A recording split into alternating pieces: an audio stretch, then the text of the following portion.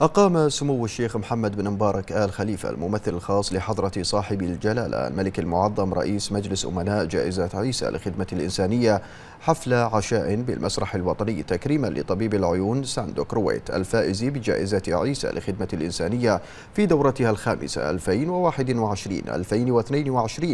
وعدد من الصحفيين ومراسلي وكالات الأنباء وسائل الإعلام الذين حضروا لتغطية الاحتفال الذي أقيم برعاية كريمة من حضرة صاحب الجلالة الملك حمد بن عيسى آل خليفة ملك البلاد المعظم حفظه الله ورعاه. وتفضل جلالته صباح اليوم بمنح جائزة عيسى لخدمة الإنسانية للفائز بالجائزة. هذا وحضر حفل العشاء أصحاب المعالي والسعادة أعضاء مجلس أمناء الجائزة ولجنة التحكيم وسفير النيبال لدى مملكة البحرين وعدد من المدعوين.